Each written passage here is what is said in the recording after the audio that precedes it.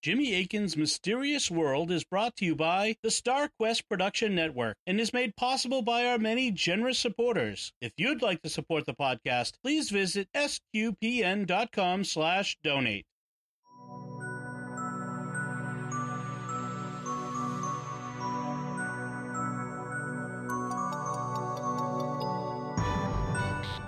You're listening to episode 9 of Jimmy Akin's Mysterious World, where we look at mysteries both supernatural and natural, anything that's strange, odd, and makes you wonder, the claims and counterclaims from the perspectives of both faith and reason. And in this episode, we're talking about the Dead Sea Scrolls. Hi, I'm Dom Bettinelli, and joining me today is, of course, is Jimmy Akin. Hi, Jimmy. Howdy, Dom. So before we get started, folks, I just want to uh, remind you to like uh, Mysterious World uh, on Facebook. We have a Facebook page. Retweet us on Twitter when we post the the the, the episodes there if you can. Leave us comments. Uh, subscribe to us in iTunes, Google Play, Stitcher, TuneIn, uh, your favorite podcast app, or on YouTube. We're in all those places. Uh, hit the bell on YouTube to make sure you get notifications if that's your choice, and share the podcast with your friends to help us grow our community around this podcast and to help us reach a, a larger audience of listeners uh, because we we've heard from you guys how much you've you've really enjoying this ep- this this podcast, and we know that many more people would enjoy it as well. So uh, spread the news and and let's get the uh, the the news out there about this new podcast. Uh, and we've got a lot of great episodes coming up, and of course, uh, as I mentioned, today's episode is about the Dead Sea Scrolls. Now, some people may not know about them, Jimmy. What are what are the Dead Sea Scrolls? The Dead Sea Scrolls are a collection of scrolls, as you would expect, that were found near the Dead Sea. The Dead Sea is a very salty lake in uh, in Israel slash Palestine. It's the lowest point on Earth, and so it gets a lot of runoff from other uh, water sources, and that's why it's so salty. It has no outlet. It is so salty that you can float in it without even swimming. Your body will just float and you'll see pictures of people like floating there reading a newspaper, not even trying to swim. um, it's also so salty that uh, if you have even the slightest nick on your body, it will sting like crazy. um, we have something like the Dead Sea here in America, in Southern California, near where I am. I'm in San Diego County, and one county over is Imperial County, where they have the Salton Sea. And the Salton Sea is the lowest point in North America, and it also is an extremely saline body of water um, however, you wouldn't want to go floating in it these days. Back in the 50s, there was an effort to turn it into a resort, but subsequently it's gone downhill and it's got a horrendous algae bloom and stinks like crazy. But uh, it's kind of an equivalent of the Dead Sea. Uh, in any event, the uh, at the actual Dead Sea in um, in Holy Land, there it's a very mountainous area and there are these caves around it and back uh, it's a little ambiguous because um, bedouin aren't really good with dates uh, or weren't at this time but back around 1947 there were a couple of young bedouin shepherds who were tending their flock and one of them according to the story uh, thought one of his flock had gotten lost in a cave. And so he threw a rock into the cave to try to scare the sheep back out. And instead of scaring the sheep back out, he heard pottery breaking. And so he investigated and found these pottery jars that were stuffed full of scrolls. And uh, the, he recognized it as, you know, potentially valuable antiquities. And so uh, the Bedouin then ended up taking them to uh, the Jerusalem area to sell them on the antiquities market. That led to a lot of scholarly interest. They subsequently found 11 caves, and it's actually now 12 uh, that are known to have held scrolls, and it was the largest and most important literary archaeological find of the 20th century. And uh, I want to come back to uh, how they they ended up where they are now in the hands of uh, of the Israeli Antiquities Authority uh, in a second, but uh, uh, more about the scrolls themselves. What languages yeah. are they written in? Uh, they're written in uh, mostly in Hebrew. There are some in Aramaic. There are a few in Greek, and even a few in Nabatean. Nab- the Nabateans were another kind of desert dwelling people uh, in that area, and so there are a few in Nabatean. Um, and they, uh, so those are the languages. Mostly Hebrew, some Aramaic and Greek and we'll get into how old they are in a second. Um, mm-hmm. But uh, so I have actually a, a, glancing connection with the scrolls, but I can talk about that in a 2nd uh-huh. But but Jimmy, what, what's what's what's your experience with the scrolls?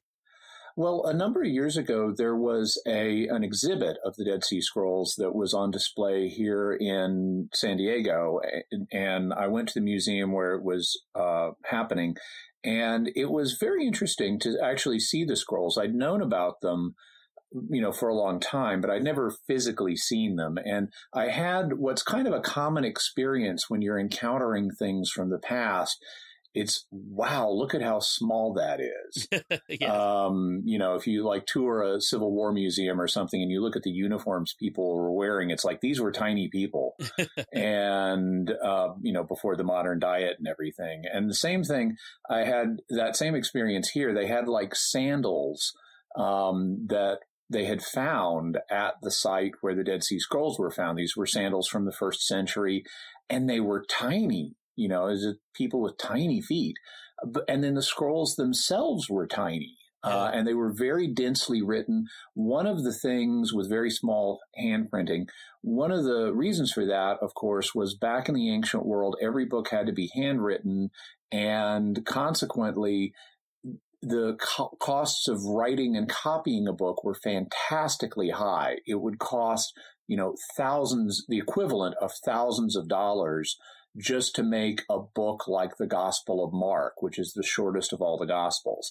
And so these Dead Sea Scrolls are very small. They're very densely written. They don't waste space. They don't have large margins. And it was just another experience of the ancient tininess phenomenon. So I, I actually saw the same exhibit uh, when it was touring uh, and came through Boston here, and uh, yeah, I had the similar experiences. One of the things that struck me about it was um, how like you could see they had the the scraps. So many of the scrolls were not intact when they when they were found, and so they had some of the scrap pieces on display. It was very dark, not allowed to take any photography. That was one of the the the uh, uh, rules the rules that they had. Um, in but, a lot of museums. Yeah, uh, and so I remember that. Well, one of the, the one of the, the, the other glancing experience I have is um, when the scrolls were found, they were actually brought to America by uh, mm-hmm. uh, one of the antiquities dealers, and yeah. was was kept actually in a basement not far from where I live in Worcester, Massachusetts, for many years. Some of them were, uh, and in fact, um, I used to work at a Christian uh, church supply and bookstore uh, that was very old. Uh, it's gone now, but it was called Whittemore's. And the owner, Carol Whittemore, this guy came in and offered to sell them to him for a few thousand dollars. And mm-hmm. he and he refused. He said, "Yeah, I'm I'm not." But he, he was afraid they'd be fake or whatever. He just wasn't interested in it. What am I going to do with them? Um, later on, uh, and I, I, don't know if you were going to get into this, but how they ended up back in Israel is is that the the, the government of Israel, which was still a very uh, young uh, country at the time, 1948 was you know this was in the 50s by now um, used cutouts uh, persons who were stood in for the israeli mm-hmm. government to buy them from these antiquities deals who were putting ads for them in the in, uh, classified ads in the new york times and in the papers uh, right, exactly. It, it's I've, I've, seen the ads from back then. It's like a little squ- small square space ad. It's like X number of scrolls from the Dead Sea for sale would make excellent present for a religious institution, and and they would use go betweens using a not using fake names um, because the sensitivities. You know, there was the 1948 uh, Israeli War where they were basically attacked from all sides, right uh, after their independence was proclaimed, and there was a lot of tension with Palestinians and so, um, to hide the fact that these were being bought by Jews, they used fake names. Right, right. So it's it's, it's uh, the, the the story around them is worthy of a, a of a Indiana Jones tale. Yeah, uh, we might so, have to do an episode on that sometime. Yeah, just on just the, the story, the story of the scrolls themselves. Uh, okay, so let's get into the the content of the scrolls. Um, what are the claims that are made about the scrolls? The mysterious claims. Well, um, one of the claims is that they are or were being suppressed by the Vatican, and uh, they were not being allowed into general circulation. Uh, the claim was they contained material that would shake the foundations of the Christian faith, and that's why they were being suppressed. Um, this was coupled with another claim that a lot of people were making that they were written by an early group of Christians, and so they could give us the real story on what Christianity was supposed to be all about before it got off on some other track. Um, they're supposed to contain startling revelations about Jesus and other New Testament figures, including John the Baptist and uh, James the Just. And uh, then there are even there are also claims that Christian scriptures have been found among the Dead Sea Scrolls. Hmm. And and so then the the counterclaims are the, all of that's false. That's the counterclaim. None of that is true. Okay. So and uh, so, what do we know about the, the scrolls? Let's first start with how old are they? What you know, when were they created? Well, this is something we have a good handle on, partly on paleographic grounds, because we can tell based on the style of writing approximately when something was written. Um, and then in the mid 20th century, we also got a new tool that's been extremely helpful, which is radiocarbon dating where you can tell based on, at least with organic material, like the, what the scrolls are made out of, um, you look at the ratio of carbon 12 to carbon 14 and it tells you how long it's been since the material ceased to be alive. And so we can use that to date all kinds of different artifacts. In the case of the scrolls, it turns out that radiocarbon dating, as well as paleographic information, indicates that they were written in the second century BC, in the first century BC, and a few of them in the first century AD. So this is a span of more than 200 years, less than 300 years, um, but it largely predates the founding of Christianity. That first and second century BC is when most of the scrolls were written, and therefore they're all before Christ. All those are before the Christian age. And, and that's what one of the things that separates them from the Nag Hammadi library that we talked about before, uh, the Lost Gospels. They're, these are not right. Christian written in the Christian era. Correct. The Nag Hammadi uh, documents, which were found at Nag Hammadi in yeah. Egypt, um, are date from the Christian age, and they were written by people who profess to be Christians.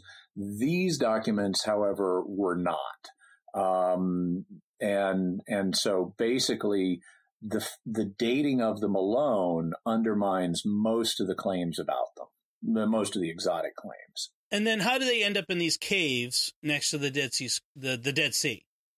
Well, there are a couple of theories about that. One of them is that they were um, written on the spot. There's a place, uh, a, a, kind of compound uh, that today is called Qumran. And it's right near the caves where, within walking distance of the caves where the scrolls were found. It dates to this time period. Um, and it appears to have been the location of the religious sect that used the Dead Sea Scrolls. And uh, there are some debates, which we'll get into, about exactly who those people were. But basically, they were living here. It was kind of a commune, kind of a first century kibbutz.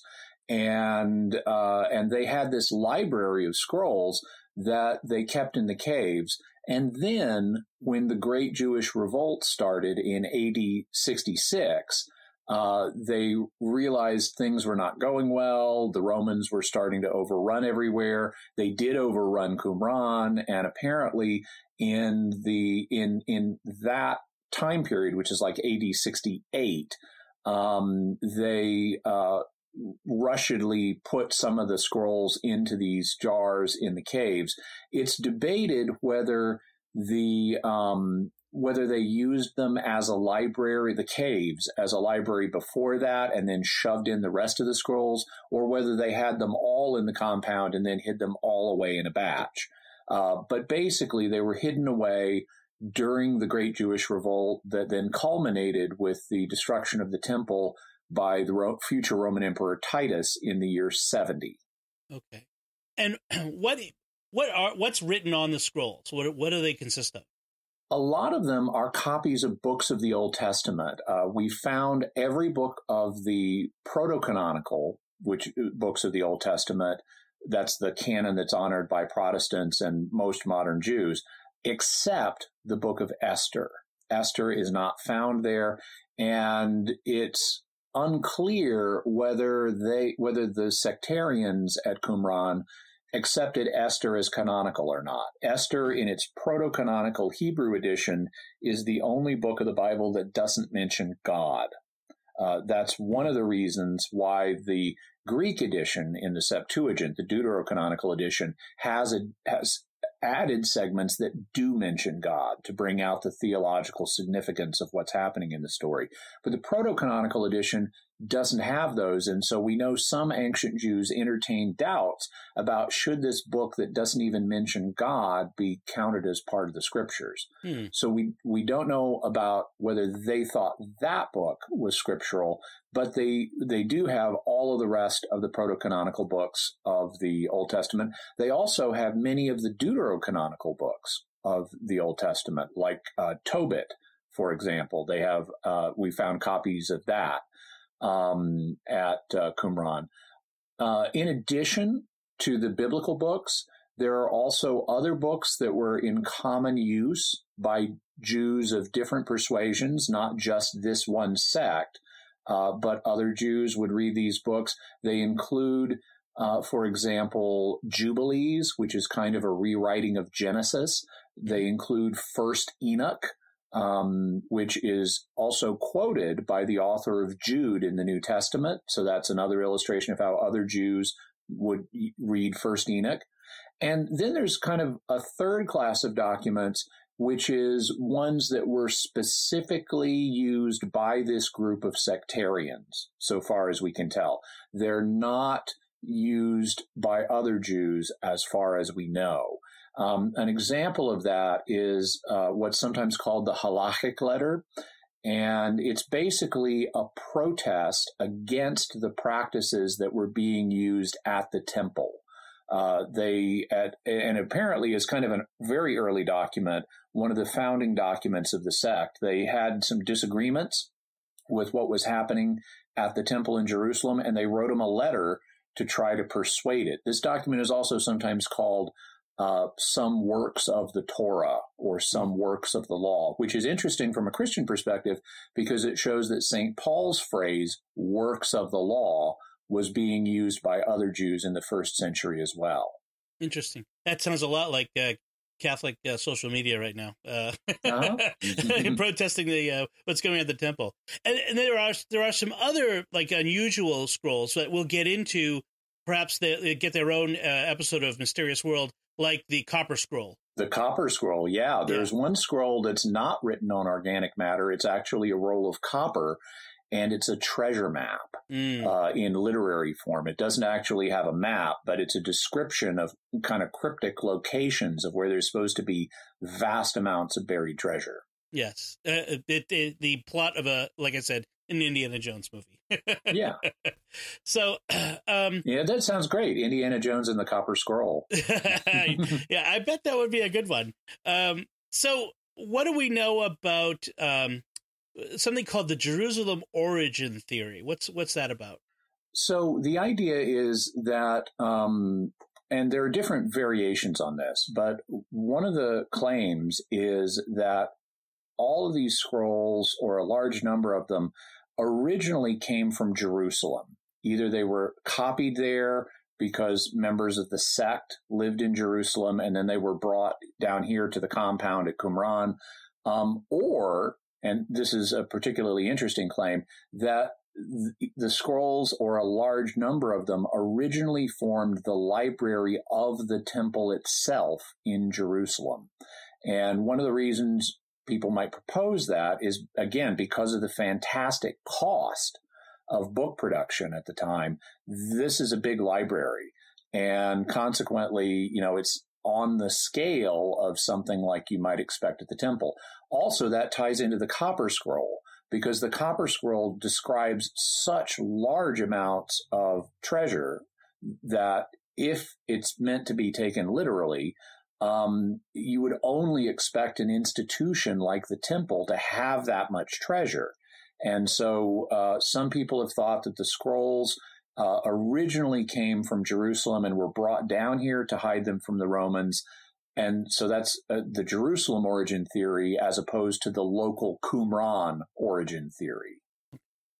So, so what do we know about the the sect that uh, owned or controlled the scrolls uh, as as we know them at the Dead Sea? Yeah, the sect is something that scholars have debated. We know of a number of different parties in Judaism at the time. Uh, two that will be familiar to uh, readers of the New Testament are the Pharisees and the Sadducees. Um, they uh, both were respected groups. The Sadducees were in particular, in particular, were associated with the temple at the time, and the Pharisees were more popular lay religious teachers. They weren't generally priests, and uh, and neither one of them really totally fits with what we read about the sect in the Dead Sea Scrolls. And so scholars, for the most part, have looked for another sect that uh, could be the one that wrote them. And the sect that most scholars have settled on are called the Essenes. The Essenes are not mentioned in the New Testament, but they are mentioned as a major Jewish sect by the Jewish historian Josephus and also by the Jewish scholar Philo, both of whom lived in the first century. And according to uh, Josephus and Philo, they were very strict. Uh, they uh, valued celibacy highly, and they lived in the desert. And in fact, we have uh, the Roman uh, naturalist Pliny the Pliny the Elder talking about the Essenes living in the desert at approximately the location of Qumran. And so, from a variety of lines of evidence, most scholars have said that they think that it's the Essenes who are the uh, authors, or at least the owners of the Dead Sea Scrolls, and then the authors of the specifically sectarian books that the Dead Sea Scrolls contain. And so, what do we what do we know about the origin of the Essenes? Then, uh, what what did they believe? Who were they? Uh, what you know really sets them apart? Uh, well, what what we know from the scrolls, so you know we know various things about the Essenes, like they valued celibacy and they were real strict, and they practiced communal property uh, to some degree. Um, and some of that matches with what we see in the scrolls themselves. What we can tell about the sectarians that uh, owned the scrolls is that they seem to date to kind of the mid second century BC. And they had a conflict. So this is the, for readers of the Old Testament, the Catholic Old Testament, this is the time of the Maccabees. And, um, and so you had, uh, the Seleucid ruler, uh, pagan ruler, um, Antiochus Epiphanes, who tried to Hellenize the religion of the Jews and get rid of Judaism, basically. He was the one who's like forcing people to eat pork and he's desecrated the temple by setting up an idol of Zeus and sacrificing a pig to it and things like that, which then prompted a Jewish rebellion under the leader of a family of priests who were called today the Maccabees or the Hasmoneans. And, um, and, and it seems from what we can tell that that the resulting reclaiming of the Holy Land and the reestablishment of a Jewish state by the Maccabees played a key role in the origin of the Dead Sea sect. Um, it's it's a little unclear exactly what happened. There are some different theories. One theory that I find very interesting is proposed by uh, Professor uh, Rabbi Lawrence Schiffman, uh, who will mention his course in the show notes so people can get that if they want. Um, he points out that er, it looks like what the it looks like the early founders of the Dead Sea sect may have themselves been Sadducees, and they're protesting against non Sadducean legal positions. Remember the halachic letter. uh, that's protesting against what's happening at the temple. The idea is that when the Maccabees, even though they were a priestly family, when they got in control of the temple, they introduced some new practices that were more like the practices of the Pharisees, and that honked off the uh, purist Sadducees, who then withdrew from fellowship with him into the desert. But things evolved after that. Um, and there was apparently a figure that the sect refers to as the teacher of righteousness, um, who they never give his name, but he apparently had like a 20 year experience of spiritual wandering and struggle trying to figure out what God wants before he became the leader of the Dead Sea sect. And then the teacher of righteousness um, basically rose to prominence in the sect and gave it its new uh, kind of more hardened form where they were much more opposed to outsiders. And the teacher of righteousness seems to have been in conflict with someone who is the, called in the scrolls the wicked priest. And the wicked priest is mysterious. Uh, they also don't name him. They just use his code name for him but we have at least a fair idea of who the wicked priest was. Um, it, based on the way he's described, we know he, it, it, strongly appears he was the high priest of the time. And uh, the high priests of the Maccabees were also the political leaders of uh, of of the new state of of Judah. And so consequently, if we look at the time frame and we look at the way the wicked priest is described, it appears that it's Jonathan Maccabee who is mentioned in obviously the books of Maccabees. Mm-hmm. And he, he reigned from 163, uh, 161 BC to 143 BC. So it looks like that's the time when the teacher of righteousness lived and had his conflict with the wicked priest. Um, they, as we mentioned, we had they had various complaints against the temple. One of the things they complained about was movable feasts. Um, now, Christians are familiar with the fact we have fixed feasts like Christmas that always occur on the same day of the year. Christmas is always December 25th. Mm-hmm. But then there are movable feasts like Easter, which are determined by the uh, phase by when the spring equinox occur and the phases of the moon. So that floats or moves around the calendar every year. Well, in uh, the temple at this time, they had some movable feasts because uh, what do you do if, let's say, one of the holiest feasts of the year is going to fall on a Monday? And that, or I'm sorry, on a Sunday, and it's right after the Sabbath, and you're not allowed to cook on the Sabbath, and with no refrigeration, it can be hard to make enough food to last you through two days without it spoiling. Or considerations like that. You could have one feast stepping on another if they fell on the same day. And so uh, the Jerusalem authorities would move the feast like a day or two on the calendar in a given year to avoid such collisions. And that's a big complaint for the Dead Sea sect. They want the feasts. They had a solar calendar uh, that wasn't based on the phases of the moon. It was like 364 days, so it wouldn't really tie to the. Uh, it would get out of phase with the se- with the seasons, and we don't know how they plan to remedy that. But they were adamant they wanted every feast on the same day of the year, no matter what happened. And so that was one of their big complaints. Um, they also believed that they were living in an apocalyptic age. They expected a great coming war between the sons of light and the sons of darkness. They, of course, were the sons of light. And uh, they expected this war to occur with a group they called the Kittim, which is their code word for the Romans. And so they were actually, like Jesus, expecting a Roman invasion uh, that was going to happen, and they expected this big apocalyptic battle, and they would ultimately win.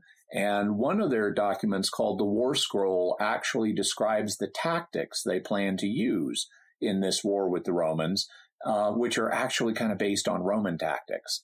um, but it didn't, obviously, that didn't end up working out for them. They were very concerned about ritual purity, uh, which was, you know, a big it has always been a big issue in uh, Jewish theology.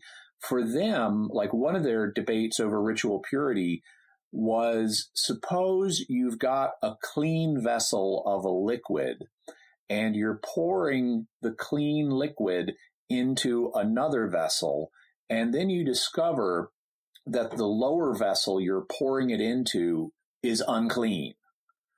What, what happens with respect to the uncleanness?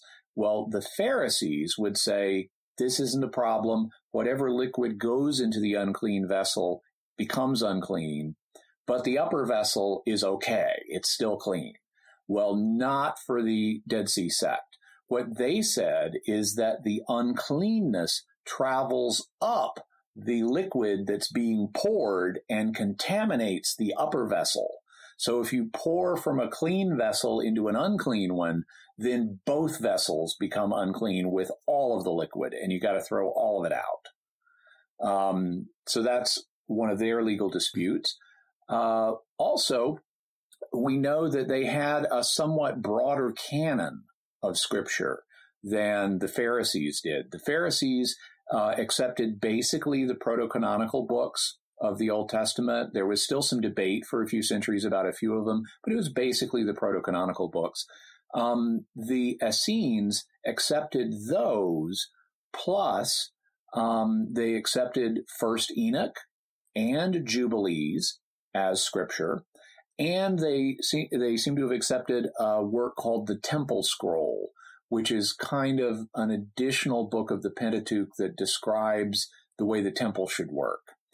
And they also regarded that as scripture, from what we can tell. so it, it sounds like, once again, the more things change, the more they stay the same. Uh, we're, still having yeah. similar debates and similar complaints. It's very interesting to see how human nature doesn't really change.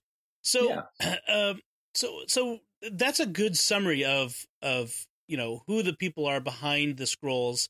Um, now, that I've heard that you know, teacher of righteousness and some of this language has led some people to believe that the uh, authors of the scrolls or the holders of the scrolls were themselves proto Christians. Um, yeah, that, that, that John the Baptist or even maybe Jesus were themselves, uh, you know, uh, members of this sect.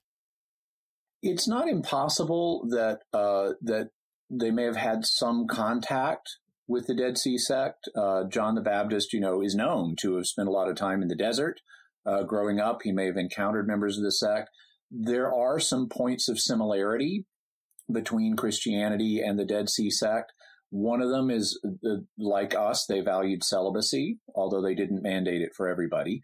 Um, they also have some terms for their leaders that kind of correspond to Christian terms. They had people who were called overseers, or in Greek, episkopoi, or in English, bishops. Um, so it's it's essentially the same term, depending on what language you want to use to describe it. But they had some similar terms for officers. Um, ultimately, though, it's it, it's not possible to identify the Dead Sea sect with early Christians for a couple of reasons. Uh, really, for several reasons, but one of them is that the scrolls are just too early. Um, Jesus didn't begin his ministry until around AD 29, and by that point, the vast majority of scrolls were already written. Um, and and so there's just not enough overlap in time frame.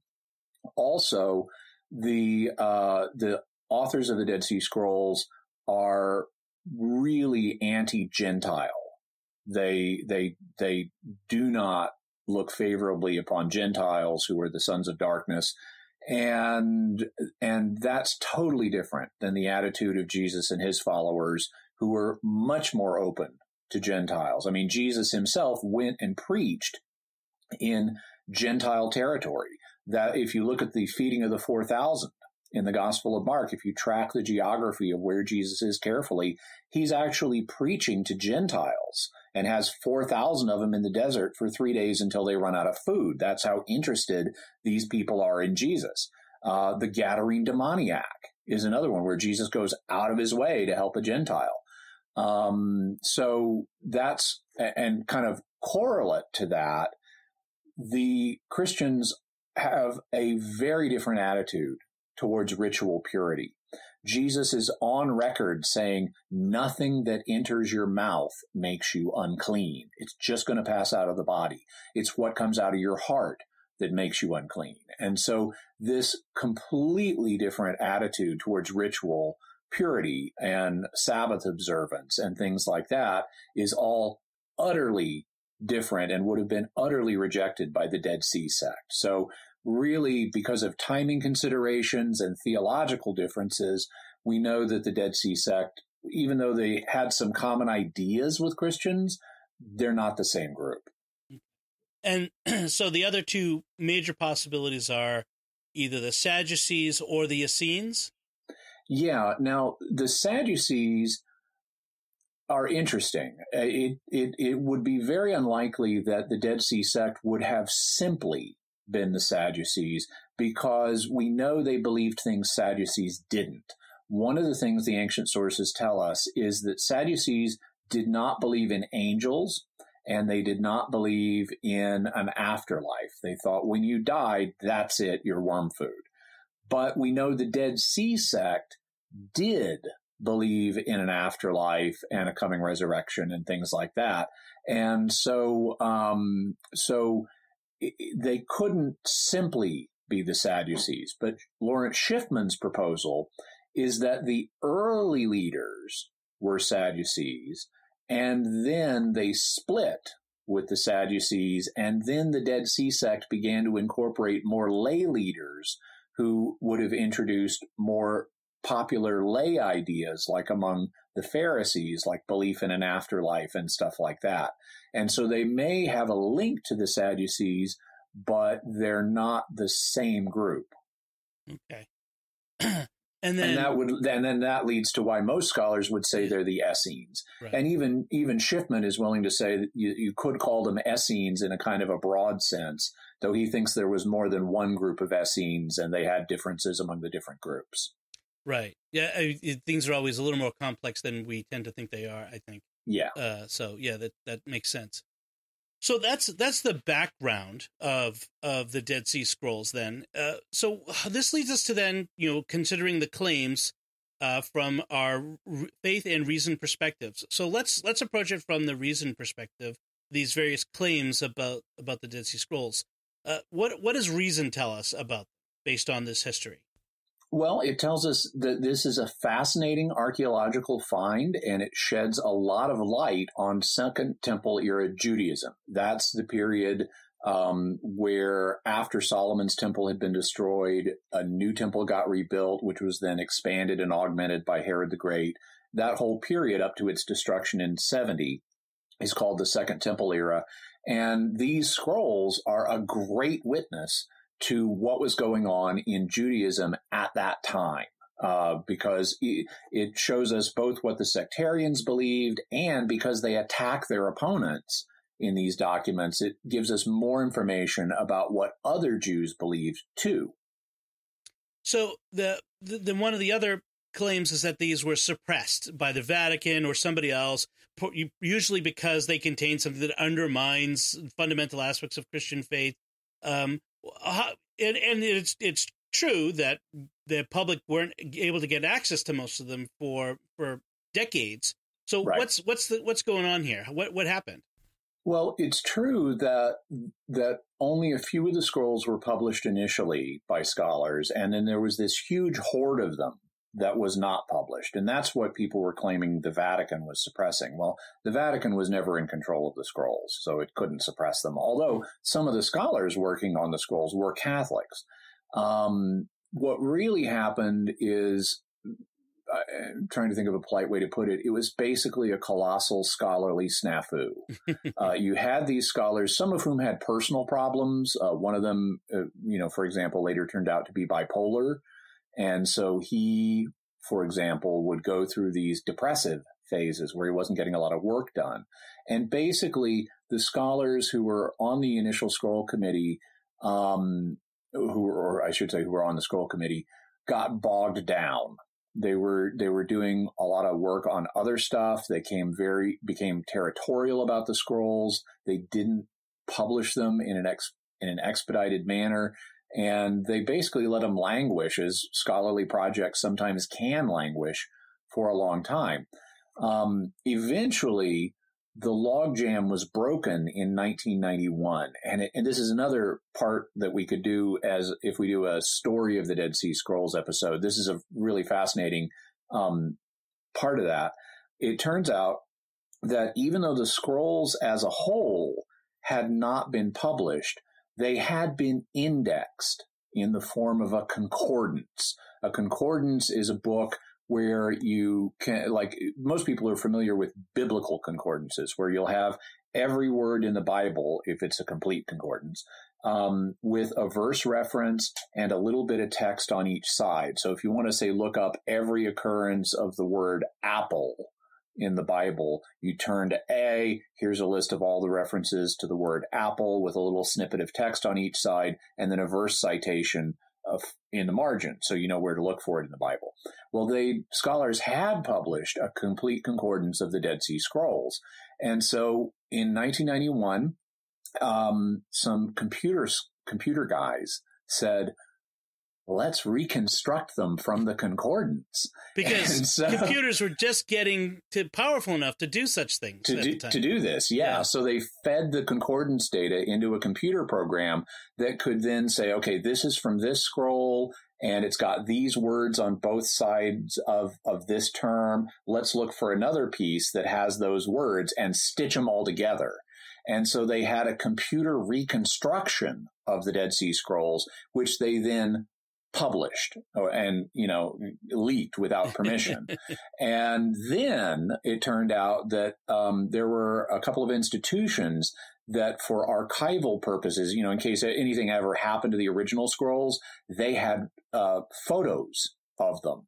And they and and uh, one of them was here in california and they said oh well now that the text is out there in the computer reconstructed version it's not secret anymore. So we can publish all these photographs we've got. And so the logjam was finally broken in 1991. And these days, all of the Dead Sea Scrolls are available. Uh, in fact, I mean, I've got copies of all of them sitting on my home computer in digital form that I can search through in my Logos Bible software. Um, they're available in many editions. I also have books of them too, you know, in physical dead tree form.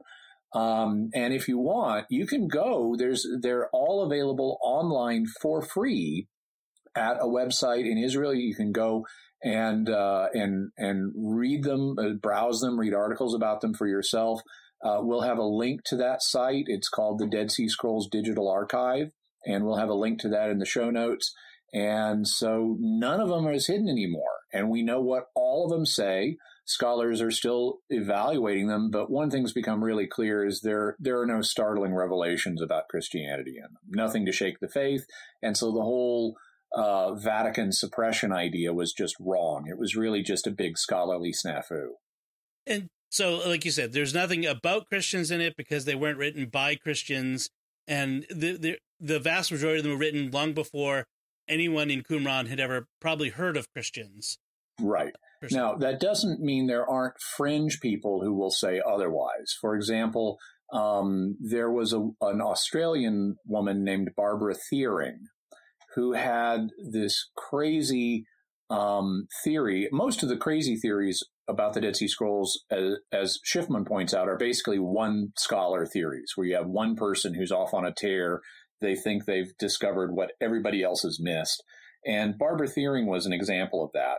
Uh, she claimed that based on her reinterpretation of the scrolls, which she said was done according to the Jewish Pesher method, um, that it turns out they really are about key figures in the New Testament, like Jesus and James the Just and people like that.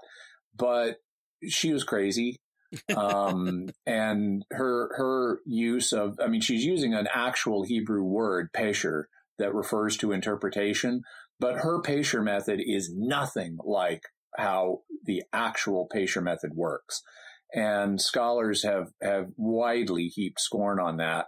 Um, so you will find people who make these claims, but they're they're they're really off on their own. The carbon fourteen dating alone precludes those theories. Okay.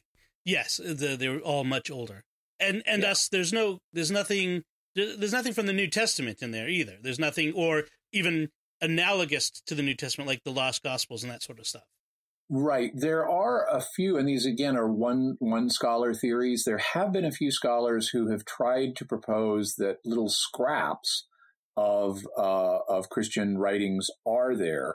Uh, most famously, one scholar claimed that there's a tiny little snippet of Mark that was found in the Dead Sea Scrolls, and personally, I would love that because that would prove that Mark was written before AD 70, which I happen to agree with. I think Mark was written in the AD 50s. So it would have been possible that they could have had a copy of Mark around for some reason. Maybe they were planning to write a refutation of these new Christian claims. Um, but, uh, but so even though I would love that to be the case, the problem is the the fragment is so tiny it has like one word and parts of a couple of other words on it and and it could really be from anything. Right. Um, and so uh, most scholars have looked at these tiny snippets that are claimed to have been christian and it's just this could be anything guys. There's no proof this is the new testament. So um is is there any? Do they suspect that there are any other caves to be found out there? Well, we recently found another one, which is now known as Cave 12, and we know that uh, it did contain uh, jars like the pottery jars the scrolls were in. It also contained uh, parchment, um, with like the material the scrolls were written on, and it contained certain binding things they used to kind of strap the scrolls together um, kind of the ancient equivalent of like rolling a, a rubber band around your newspaper. Um, so it, we're real sure that this cave, which is now known as Cave 12, did at one time hold de- some Dead Sea Scrolls, but they're gone. And so it looks like the Bedouin took them out of this cave and didn't accurately report where they got them. They probably did those sell them on the antiquities market. So we should have the scrolls that were in that cave. We just didn't we we just don't accurately know which cave they came from. It's also possible that there are other caves out there that we haven't yet found um, that also contain scrolls from this sect.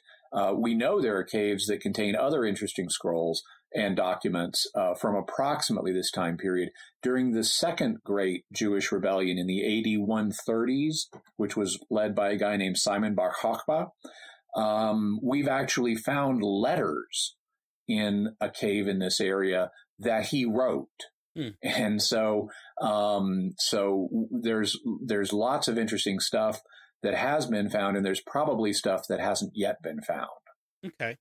So that's the the reason perspective on the claims. What is what about the faith perspective? How do we approach this from from our uh, our Catholic faith uh, against these claims about the Dead Sea Scrolls? Well, one of the things uh, that's interesting from a faith perspective is they provide really startling confirmation of the accuracy of the Old Testament texts. Prior to the, the discovery of these scrolls, the earliest manuscripts that we had of, say, Isaiah or the Psalms were written um, in the Christian age, and many of them much later. And especially if you're looking at the Hebrew ones, because Christians generally wrote in Greek or Latin or something. Eh, the earliest Hebrew manuscripts we had were written by Jews in basically the Middle Ages. Hmm. And then when we found these scrolls, and, because of that, it was possible for liberal scholars to say, oh, well, they're all inaccurate. We have no idea what the original said. They've been copied so many times. There could have been all kinds of errors introduced, despite the fact that the copyists in Judaism, the Masoretes, had elaborate procedures to guard against transcription errors. Um, but then with the discovery of the Dead Sea Scrolls, suddenly we've leapfrogged back a thousand years to the period when some of the biblical writings were actually being written. And it showed overwhelmingly that what we had in the Hebrew text of the Old Testament was accurate. And there are some variations here and there, um, but uh, but by and large, they were extraordinarily accurate and preserved in a in a very pristine way over many many centuries. And the few things where there are differences is great too because now we have another resource that we that scholars can use to try to determine the original reading. So the, what i've heard is, is that we have the most complete text. The most complete one is the text of isaiah. Um, and in yeah. fact you can go to a museum in in israel right now and where they have the scroll all laid out. You can, it's in a circle and you can walk around it and look at this text of Isaiah that's a thousand years older than any previous one and predates the time of Christ. Right. I think that's the Shrine of the Book in the Jerusalem. Right, right, right. The Shrine of the mm-hmm. Book, which uh, is in the shape of a scroll jar, which is kind of unique. Um, yeah. So that's that's really neat. Um, so, what you mentioned that the, that they can help scholars figure out what the Old Testament original text said. What, what's up? So I don't want to get too much into biblical translation, but right. how does that help them a little, like just a little bit, if you could uh, explain some of that? Well, for example, um, there are minor variations because at this time everything was hand copied, and so scribes will make errors. They may accidentally skip a line, you know, if they lose their place or something like that. And um, they may misspell a word and accidentally change it into another word. You know, like if you if you wrote pat instead of cat. In English. Just early autocorrect. yeah, early autocorrect. Yeah. Um, so, uh, so those kind of things happen, and we have the Hebrew text in you know that the Masoretes produced in the Middle Ages. But then we also had uh, the Greek translation, for example, of the Septuagint, which is a Greek translation of the Old Testament made in about the same time period as the Dead Sea Scrolls. Well, um, sometimes the Septuagint will have us in, in a given verse, it'll have a slightly different reading than what's in the Masoretic text. And now that we have the Dead Sea Scrolls, we can look at them and say, well, what does, what do they say? Do they support the Masoretic reading? Do they support the Septuagint reading? Or is it something else? And so it gives us a new data stream that scholars can use to try to weigh these different options and thus increases our understanding of the details of the text. So, some of the more modern translations that have been made since the time of the Dead Sea Scrolls uh, might be uh, accurate is probably not the right word, but but, ba- will be they, based on that. Yeah, they'll incorporate information from the Dead Sea Scrolls, and if you look in most Bibles, uh, in the footnotes, you'll see little notes in the Old Testament like this is what the Hebrew says, but this is what the Septuagint says, and it'll usually abbreviate that as LXX, which is the Latin number 70, uh, Septuaginta. And then it'll also note the DSS, the Dead Sea Scrolls, say this. Okay. All right. So, um, so it helps us, um, just kind of uh, think about what else the faith perspective tells us. Um, well, it, it, it, helps us understand early Judaism, right? I mean, that's that's one of the big things that it does. It does, but it also helps us understand the matrix that Christianity formed in. Uh, one of the things that liberal scholars had had done uh, was say, well, uh, these points on which Christians differed from Jews or the Jews we know about just show like pagan influence like celibacy. Jews were not celibate. There were no celibate Jews. Um, this Christian thing has like been influenced by some pagan source. Well, no. Um, it, it, we, and even before the discovery of the Dead Sea Scrolls, we knew about the Essenes. It's just not as much attention was paid to them, and they did value celibacy.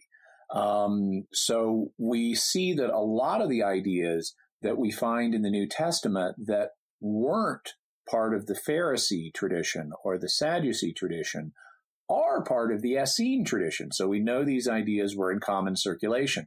A favorite example of mine in that regard is um, is something called the Messianic Apocalypse. When I was at the Dead Sea Scrolls exhibit, they had this little paddle-like device you'd hold up to your ear and punch in a number as you walked around to different exhibits, and it would play a little bit of audio for you.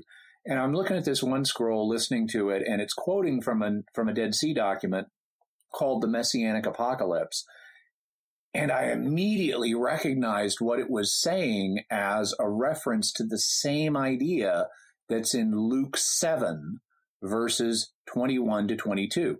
In that passage, Jesus is responding to the messengers of John the Baptist that John the Baptist is sent to inquire, Are you the Messiah or should we, we look for someone else?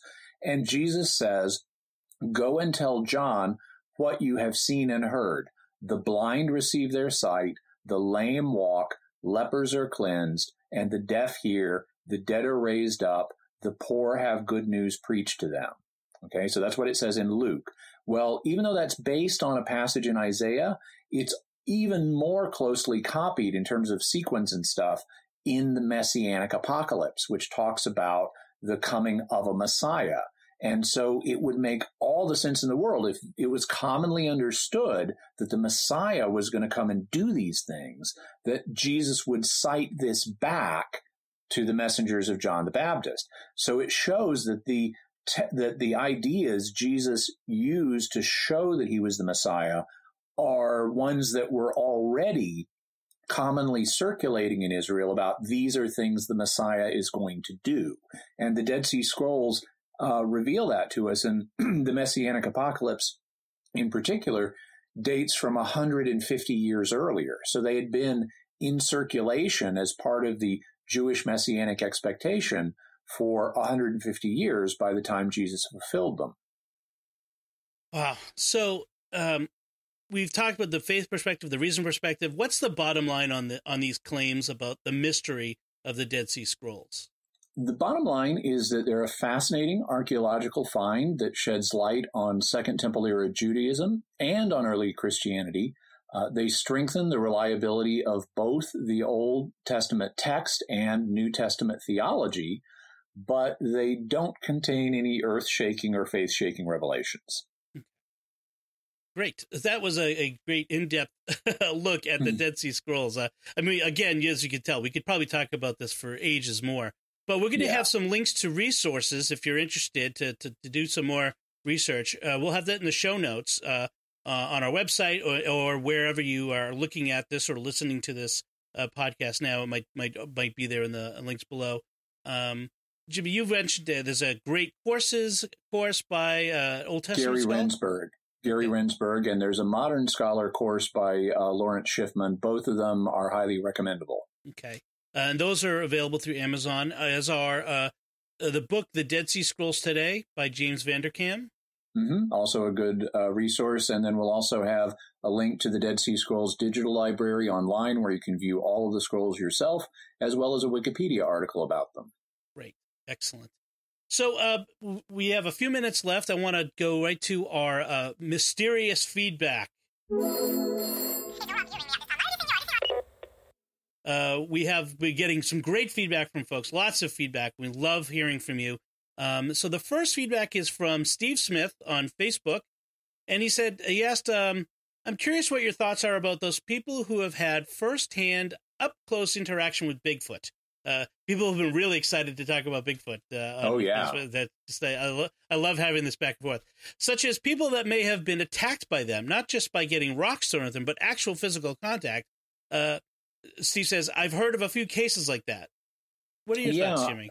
Well, I've heard of that too, and I think he's I think he's right that uh, it's if you've had up close contact rather than just rocks or stuff being thrown at you, that's more dispositive. It, it tends to prove the Bigfoot thesis better um, because even though like some people have said, well, all the Bigfoot sightings are bears. Well, bears don't throw rocks, but humans hoaxing you do throw rocks. And so if you don't see it, if you don't have an up close encounter, then it, it, it, there remains this element of speculation.